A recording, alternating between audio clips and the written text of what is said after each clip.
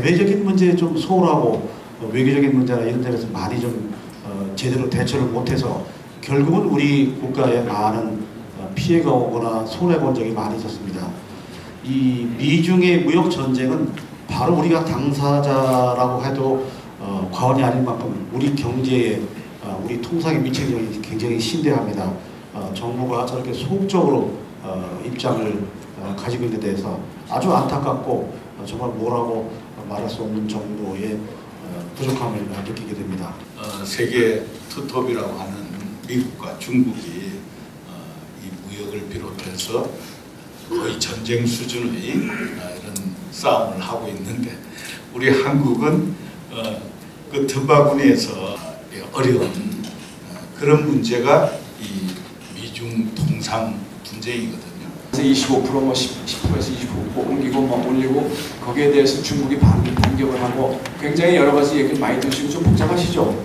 화웨이가 어디 있는지 모르지만 굉장히 유명해졌습니다. 그 회사가 회사가 왜 거기 막 조진 때리느냐? 그러니까 거기는 그 기술 패권에 걸려 있습니다. 미국은 지금 멀쩡한 대낮에 국가 비상사태를 딱 선포했습니다. 왜냐? 중국을 노린 거예요. 그리고 최근에도 미국 대사가 이렇게 얘기했죠. 5G 네트워크상의 사이버 보안은 동맹국 동맹국 통신 보호의 핵심 요소다. 이게 무슨 얘기입니까? 안보 얘기하는 거죠 이게. 그리고 신뢰할 수 없는 공급자를 선택하면 장기적으로 리스크, 리스크와 비용이 크다. 이거는 이제 반 화웨이 동맹에 동참하세요 이 소리입니다. 근데 이 얘기는 중국에서 그 전에 이 대사 얘기하기 전에 한국이 올바른 선택 판단해라 이렇게 한번 얘기한 적이 있어요. 관세 전쟁이 시작해서 이 기술 전쟁으로 왔다가 환율 전쟁으로 갔어요. 환율 전쟁은 여러분이 어떻게 느끼실지 모르지만 기술 전쟁보다 더 무서운 겁니다. 이게 기술 전쟁은 요, 제 인체가 말하면 팔 하나 탁 꺾는 겁니다. 환율 전쟁은 심장을 확 잡는 거예요. 환율은 국가의 피가 돌, 저 돈, 돈이 도는 거 아닙니까? 그걸 심장을 꽉 쥐는 겁니다. 그러니까 이걸 지금 가, 가려고 하는 겁니다, 미국이. 첫째는 중국의 경제적인 부상을 미국이 견제해야 되겠다. 두 번째는 무역 적자를 보니까 너무 그동안 미국, 미국이 적자를 많이 봤다. 이걸 시정해야 되겠다. 세 번째는 중국이 세계화 전략을 나가는데 이건 눈뜨고 못 보겠다 이거예요. 우리나라의 경우에 어, 대중국 수, 수출을 100을 했다 그러면 그 80개는 무슨 역할을 80이 들어가서 중국에서 다시 그걸 중간지를 활용해가지고 미국으로 수출하는 상품이에요. 이건 당연히 저기서 하게 되면 우리, 우리 중간재가 80% 나가는 건 타격을 받겠죠. 굉장히 미중 갈등 상황에서 선택을 강요받는 상황이 자꾸 되고 있죠. 1대1로 냐 아니면 인도태평양 전략이냐 여기에 중간에 서서 고민을 해요. 동맹국 차원에서 화웨이 거래하고 중단, 중단하고 차- 중단해라 그러면 어떻게? 환율이 약간 이제 원- 원화하고 같이 가거든요. 거. 그러면 중국 지금 미국에서 어떻게 보고 있냐면 중국이 의도적으로 중국 돈을 가치를 싸게 하- 만들고 있다 이렇게 보고 있어요. 근데 중국이 예컨대 의도적으로 중국 돈을 확 가치 를 내려버렸어요.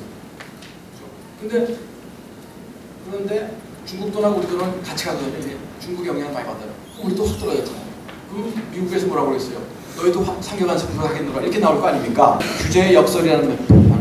규제를 받으면 그걸 어떻게 하려고 살아남으려고 발버둥치거든요. 그러니까 이 규제 역설을 중국에 들이대면 차제의 중국이 이걸 통해서 좀 개방화되고 제도화되고 좀 이렇게 외국 기업을 귀하게 알고 이런 태도 변화가 있으면 얼마나 좋겠냐. 이게 희망성, 희망 섞인 그 얘기들을 하고 있는 겁니다. 만약 6월 말에도 전혀 해결 조짐이 없을 때 그리고 양측에서 에, 줄을 서라고 강요를 했을 때 과연 삼성전자와 SK 하이닉스와 현대차와 지금 우리나라 삼성전자의 투자 익스포저의 약 15%는 중국에 가 있고 SK는 무려 40%가 중국에 익스포저가 있습니다. 중국이 그걸 두드러 맞게 되면 그는 국가의 GDP, 무역국자가 확 줄어드는 상황이 발생할 수도 있기 때문에 단순히 환율 뭐 이런 기술 전쟁 이런 것보다는 우리나라 기업들은 지금 훨씬 다급한 상황이에요. 실제로 미국 전쟁에 가담, 가담한다고 했을 때 당연히 중국의 보복이 더 본격화되겠죠. 예, 각종 반덤핑, 세이프가드, 그 다음에 관광 비자나 상용 비자의 지연 또는 뭐 거부 이런 현상이 발생할 거고 중국에 진출한 기업에 대해서는 에, 철수를 압박하도록 또는 기술을 강제적으로 더 이전하는 노력을 압박을 훨씬 더 강화할 거라고 생각합니다. 이걸 이제 non-tariff barrier라고 얘기를 하는데 비관세 장벽이 훨씬 강화될 거라고 생각을 하고요. 에, 삼성전자가 만약 지금 중국에서 철수하면 어떻게 될까요? 통폐하겠죠. 감정적으로. 그렇지만 삼성전자는 다시는 중국에 발을 못 붙입니다. 그리고 당연히 수출과 투자의 선도 놓치게 되고 에, 그래서 미국 진영에 가담하게 되면 좋은 측면이 있죠. 기술 미국 기업과 기술 제휴를 하고 어, 이렇게 할 수 있지만 에, 또 한미일 안보 동맹도 유지가 되고 전자권 반환 협상도 순조롭게 되겠지만 경제적인 코스트는 천문학적인 비용이 들 거다. 중국 진영에 가담했을 경우에는 결국은 경제적으로도 완전히 우리는 예속되게 됩니다. 이미 중국은 한국을 나라로 취급하지 않고 있어요. 하나 소개드릴 것은 최근 아, UN ESCAP이라고 있습니다. UN 아태 지역 경제사회 이사회라는 그 기구가 있는데 거기서 평가한 바에 의하면 미중 무역 전쟁으로 이 global value chain 가치 체계가 지금 흔들리는데 거기에 가장 큰 타격을 받을 나라들은 결국 동아시아 국가들이다. 그 중에서 한국이 미국 어, 전체 수출에서 미국 관세 때문에 간접적인 타격을 받는 품목 비율이 어, 동아시아 국가 전체 중에서 가장 높고 1위, 1위로 나타났습니다. 가장 불리하다는 이야기입니다. 그 다음에 한국 수출 중에서 중국 경기 둔화, 겨- 중국도 이제 이번에 이 사태로 인해서 경기가 많은 변화가 올 텐데 경기 둔화에 가장 영향을 많이 받는 나라 중에서도 한국이 세 번째로 들어가 있습니다. 반면에 하나 좋은 점은 어, 한국이 무역 전쟁을 해서 중- 미국은 중국을 대신할 새로운 수입 대상국을 찾을 수밖에 없게 되어 있는데 그럴 때 한국은 음, 기회를 좀 얻을 수도 있다 그런 이야기입니다. 그래서 한국은 중간재 부분에서 이런 수출을 늘릴 수 있는 기회 지수가 0.12로 세계 1위다.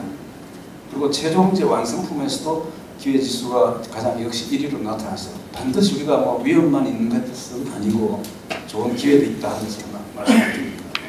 어, 미중 통상 문제는 우리가 어떻게 개입할 수 있는 여지가 없습니다.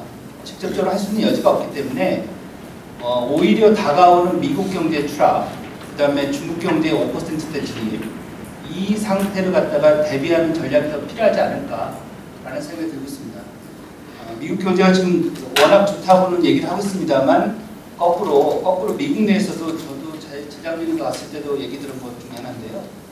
네, 작년에도 그렇고 어, 미국 경제가 지금 굉장히 예, 내부적으로는 안 좋다는 얘기를 많이 하고 있거든요.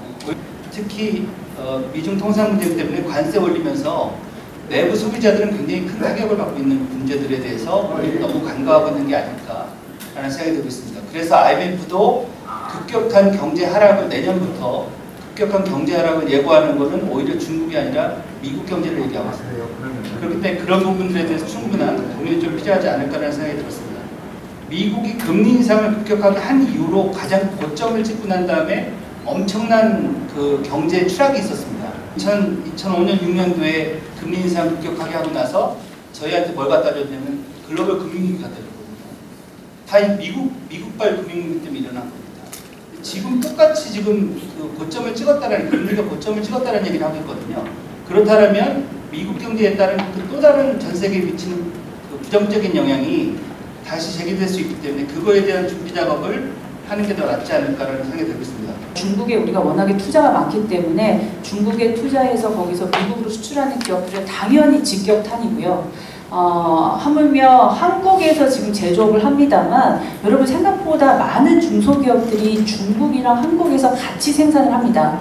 그러니까 중국에서 생산을 일부 하고 한국으로 가져와서 아주 간단하게 포장을 한다든지 어, 공정을 조금만 더 더한 다음에 미국으로 수출하는 그런 기업들이 많거든요.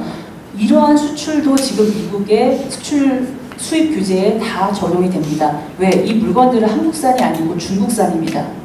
이런 기업들 생각보다 많거든요. 그래서 다 이 영향권 안에 들어가 있고요. 중국을 막다 보니 아무래도 미국은 다른 소싱처를 어, 찾아야 되고요. 그 중에 지금 뭐 여러 지금 신문지상이나 아니면 연구 결과 나왔다는 게 제일 혜택을 받을 게 베트남이라고 하죠. 왜냐면 베트남으로 제2의 포스트 차이나로 가고 있고 그다음에 베트남에 이미 지금 제조업이 많이 있기 때문에 어, 베트남을 중국을 대체할 수 있는 시장을 보는 것 같습니다. 자 문제는 뭐냐면 저희가 여기서 한 발짝 더 나가면 이 반사익을 너무 저희가 향유하면 안 됩니다. 여러분 70년대 80년대 일본을 막았을 때 우리나라랑 대만이 그걸 비집고 들어갔었는데요. 미국이 가만히 있지 않습니다. 제2의 공격이 있습니다. 그래서 우리나라가 80년대에 엄청나게 반덤비 상계관세를 맞은 나라 중에 하나입니다.